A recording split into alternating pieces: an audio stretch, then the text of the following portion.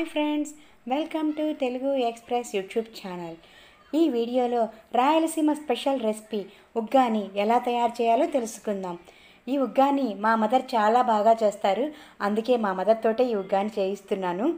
ముందుగా మనం ప్రాసెస్లోకి వెళ్ళే ముందుగా మన ఛానల్ని సబ్స్క్రైబ్ చేయకపోతే సబ్స్క్రైబ్ చేయడం మాత్రం మర్చిపోవద్దు.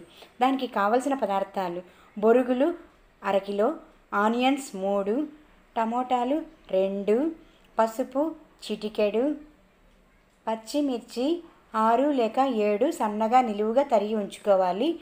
నానబెట్టిన చింతపండు కొద్దిగా ఆయిల్ కొంచెము పోపు సామాను కరివేపాకు జీడిపప్పు.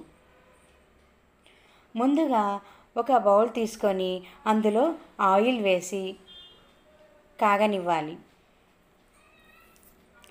అందులో పోపు సామాన్ వేసుకోవాలి.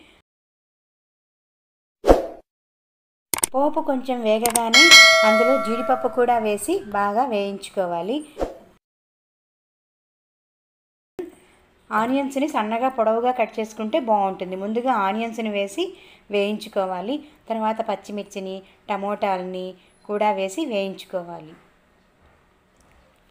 అవి బాగా వేగాలి. ముఖ్యంగా ఆనియన్స్ అనేవి బాగా వేగాలి. ఆనియన్స్ బాగా వేగకపోతే పచ్చి వాసన వస్తుంది కాబట్టి బాగా వేగాలి. అవి వేగేలోగా ఒక బౌల్ తీసుకొని అందులో వాటర్ పోసి అందులో బొరుగుల్ని తడపాలి.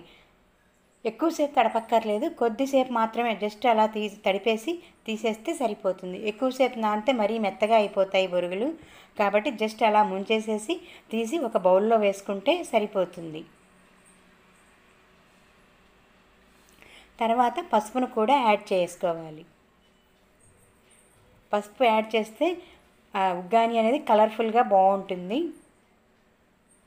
ఇక అవి వేగాయి కదా. పెట్టుకున్నాం కదా చింతపండు.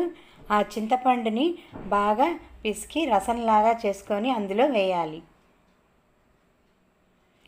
వేసి కాసేపు ఉడకనివ్వాలి. చింతపండు బాగా ఉడకబెట్టాలి వాటిల్లో. ఉడికితేనే పచ్చివాసన రాకుండా ఉంటుంది. ఉడకకుండా వేస్తే పచ్చివాసన వస్తుంది. కాబట్టి చింతపండు రసాన్ని కూడా బాగా ఉడకనివ్వాలి. పులిహోరకు ఉడకబెడతాం కదా మనం అలాగా ఉడకబెట్టాలి. చింతపండు బాగా ఉడికిన తర్వాత ముందుగా బొరుగులు నానబెట్టి పెట్టుకున్నాం కదా వాటిని అందులో వేసుకొని బాగా కలపాలి. తర్వాత సాల్ట్ కూడా యాడ్ చేసుకోవాలి. కావలసిన పదార్థాల్లో నేను సాల్ట్ చెప్పడం మర్చిపోయాను. సాల్ట్ని కూడా వేసుకొని బాగా కలపాలి. కలిపితే బాగా కలర్ఫుల్గా కలిపితే బాగా ఎల్లో కలర్ వస్తుంది. బాగా అడుగున పసుపు వేసాం కదా బాగా పుల్ల పుల్లగా పప్పుగా కారకారంగా చాలా టేస్టీగా ఉంటుంది.